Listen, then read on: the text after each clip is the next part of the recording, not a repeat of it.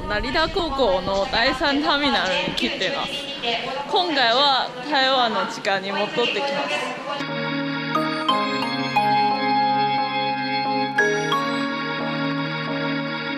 おはよう。今台北の1日目の昼です。ここはあの弟が住んでる。アパートです。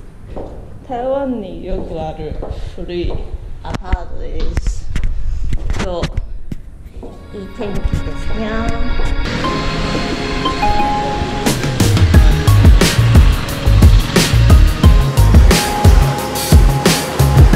这个还没卖掉，这台。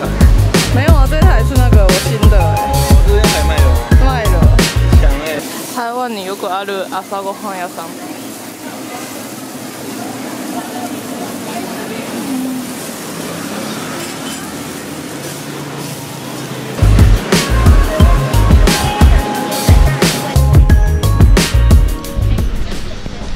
懐かしい。美味しい。台北駅に来ました。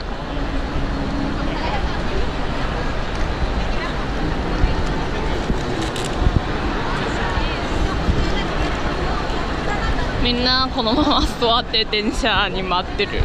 東南アジアからの労働者が多いです。ここは台湾大学の前。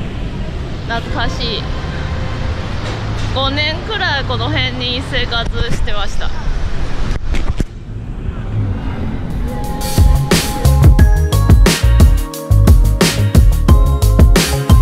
台北の今後あの商店街です。あ台湾大学の前。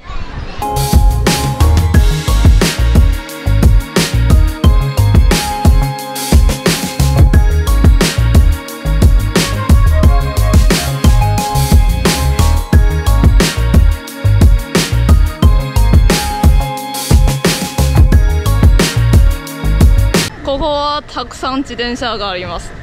台湾大学が広くてあのみんな学校の中でも自転車で移動してるからまあたくさんバイクが自転車があります。寒い。今並んでます。もともとあのい101の上で夕日撮影したいですけどなんか激並んで前の間なさそう。